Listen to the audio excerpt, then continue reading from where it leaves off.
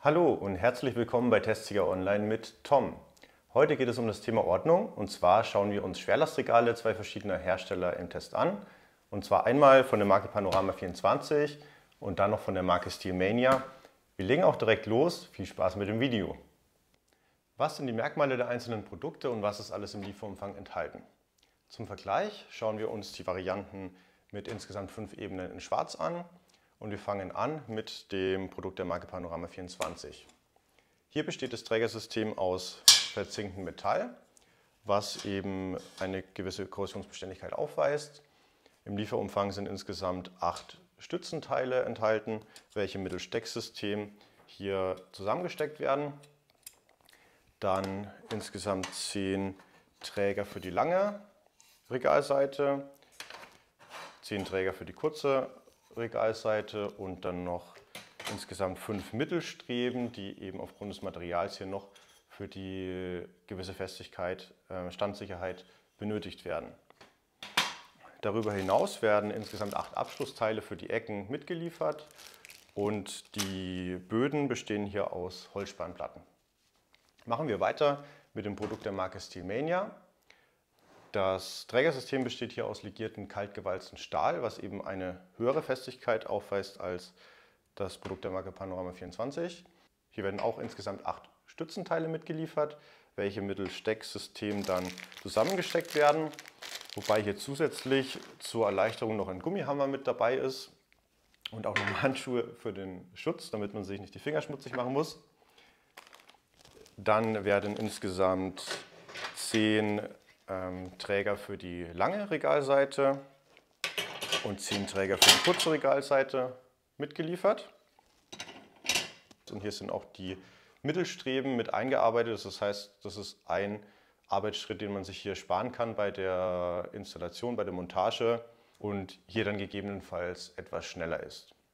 Kommen wir zu den Vor- und Nachteilen der einzelnen Produkte. Der größte Vorteil beim Regal von Steelmania ist eben der, dass das Trägersystem aus einer höheren Qualität besteht, aus legierten, kaltgewalzten Stahl. Deshalb muss dieses Regal auch nicht zusätzlich an der Wand nochmal befestigt werden, weil es aufgrund der höheren Festigkeit des Materials und des höheren Gewichtes eben auch die gewisse Standsicherheit, die es benötigt, an sich schon mitbringt. Während das Regal von Panorama 24 auf jeden Fall an der Wand befestigt werden muss. Hier haben wir auch Böden aus ähm, Holzspannplatten, welche einen gewissen Geruch äh, eben aufweisen und kennt vielleicht jeder Altbau, ich habe einen feuchten Keller, der ein bisschen modrig ist, dann werden die Holzspannplatten nach einer gewissen Zeit auf jeden Fall auch das Schimmeln anfangen. Ähm, wohingegen wir hier die Böden bei Steelmania komplett auch aus dem legierten kaltgewalzten Stahl gefertigt haben, welche langlebig sind. Preislich liegen wir hier bei 100 Euro, während wir hier bei 40 Euro liegen. Ein weiterer Vorteil ist eben auch noch bei Steelmania, dass das Regal auf zwei Regale auch noch aufgeteilt werden kann. Und hierfür haben wir eben dann die doppelte Anzahl an Endstücken für die Ecken. Dann kommen wir zum Praxistest und zwar zum Aufbau der Schwerlastregale. Wir fangen mit dem Produkt von Panorama 24 an. Viel Spaß dabei!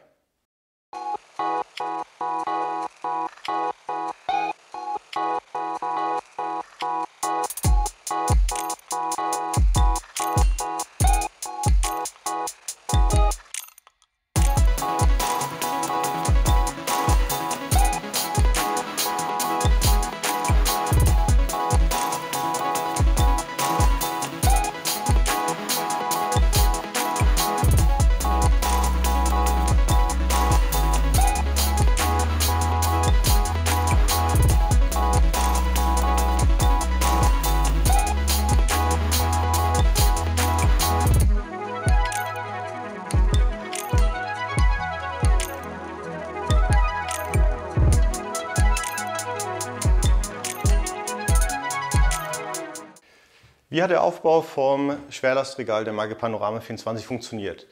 Zunächst einmal ist mir aufgefallen, dass das Regal relativ wackelig ist, weshalb ich es auch anders aufgebaut habe als eigentlich vom Hersteller empfohlen.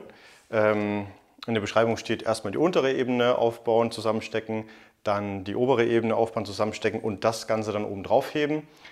Das war mir ein bisschen zu wackelig, deswegen habe ich improvisiert. Man sieht es ja im Zeitraffer-Effekt. Und man sieht eben auch, dass aufgrund der niedrigeren Festigkeit das Regal an sich wackelig ist, deswegen muss es auch an der Wand befestigt werden. Was mir hier auf jeden Fall auffällt, ist, dass die Böden hier gerade mal auf, kannst du ja mal nachmessen,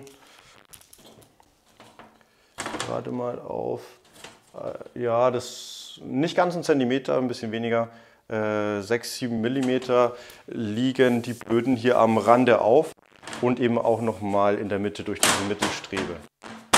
Man hört es auch schon, dass das Ganze einen etwas wackeligen Eindruck macht. Und wir machen jetzt einen kleinen Stresstest. Wir nehmen nicht die ganzen 180 Kilo. Wir wollen einfach mal sehen, ähm, biegt sich das Material durch, wie, ähm, äh, wie steif sind die Böden oder wie steif ist das Regal.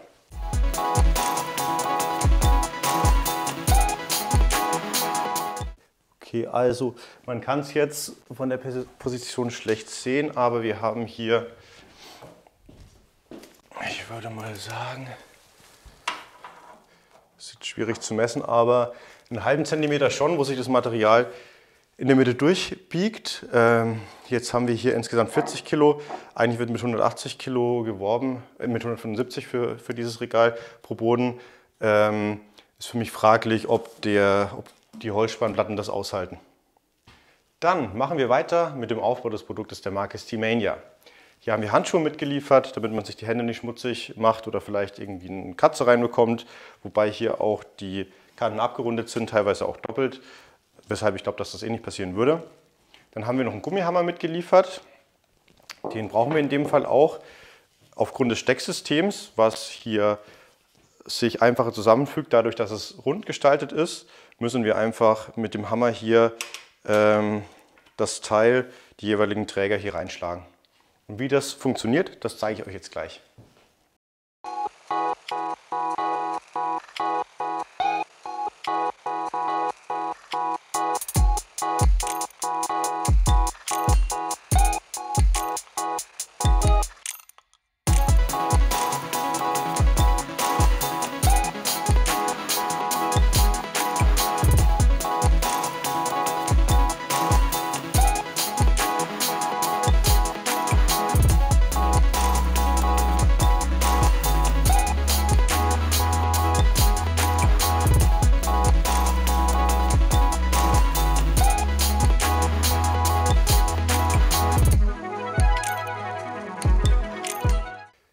Wie hat sich der Aufbau beim Steamania Regal gemacht? Also zunächst einmal sehr einfach. Ähm, die Rundungen lassen sich gut zusammenstecken in einem Stecksystem. Einfach erstmal händisch und dann mit dem Gummihammer nochmal nachhelfen. Ich habe insgesamt ca. 10 Minuten für den Aufbau gebraucht und man kann sehen, dass hier nicht viel rüttelt. Also das Regal hat an sich eine hohe Standfestigkeit und muss nicht nochmal an der Wand befestigt werden. Wir machen auch gleich noch den kurzen Stresstest.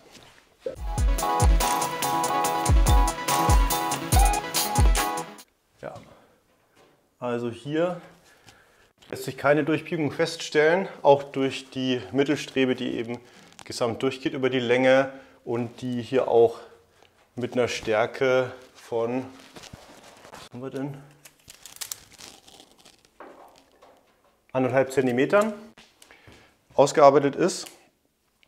Was auch noch auffällt, ist, dass die ähm, Böden hier eine größere Auflagefläche haben. Also hier haben wir 15 mm und beim anderen Regal waren es 6 oder 7 mm. Am Ende wollen wir noch mal kurz die Abmessungen vergleichen. Beim Regal von Panorama 24 haben wir insgesamt 20 cm mehr Höhe, also ist 1,80 hoch. Das Regal von Steelmania ist 1,60 hoch. Die Böden sind hier aber mit 45 cm immer ähm, jede Ebene 5 cm tiefer als bei Panorama 24.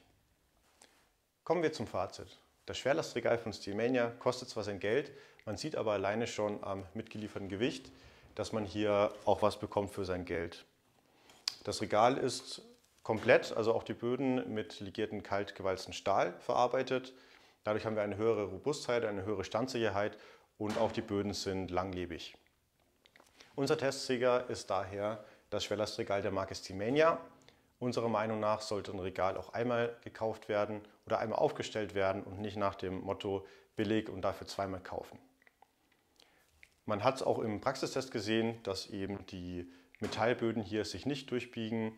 während die Spanplatten eben hier auch bei 20 Kilo die Seite eben schon eine Durchbiegung aufgewiesen haben. Auch die Auflagefläche ist hier nicht so hoch von den Platten, wie sie hier beim anderen Regal ist. Und es ist fraglich, ob das Regal von Panorama 24 auch wirklich die 180 bzw. hier 175 Kilo je Regalboden aushält. Dann bedanke ich mich fürs Zuschauen. Wenn euch das Video gefallen hat, dann lasst gerne ein Like da und abonniert den Kanal. Wir sehen uns im nächsten Video.